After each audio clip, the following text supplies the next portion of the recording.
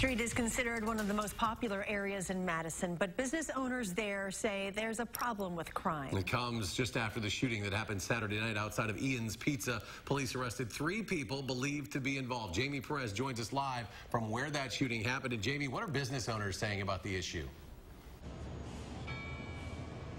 Well, you guys, a lot of business owners do acknowledge that there is a problem when it comes to crime in the area. A lot of people saying that the problem has just gotten progressively worse, saying that the incident, the shooting on Saturday, merely proves their case. But even with all of that said, they say that overall it's still a fairly safe area. But it's the people that frequent State Street the most that say that change needs to happen.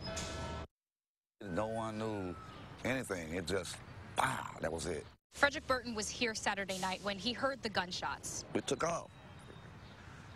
That way, that way, I was laying on the ground. When I laid down, I stayed down. While a lot of people can run for cover and return home to safety in these situations, this is Burton's safety, and State Street is his home. When the shots was fired, that made everybody nervous because there was kids out here. Anybody could have got, kids could have got hit, anybody. Burton's been living on State Street since 1992, and over the years... It's getting worse. While many business owners fear the increase in crime may deter their customers, Burton says this is also a problem for the homeless community here who don't cause any trouble. We are State Street. And to not to feel safe or comfortable or welcome, that's not cool. Many business owners didn't want to go on the record, but told me off camera crime is up at night. They've seen things like drug deals, prostitution, and more recently, a shooting. State Street is safe overall. Come down, enjoy it. I think everybody knows this. But there's a problem down here and it needs to be addressed. Despite knowing about the crime here, Nate Mergen opened this bar on State Street three weeks ago.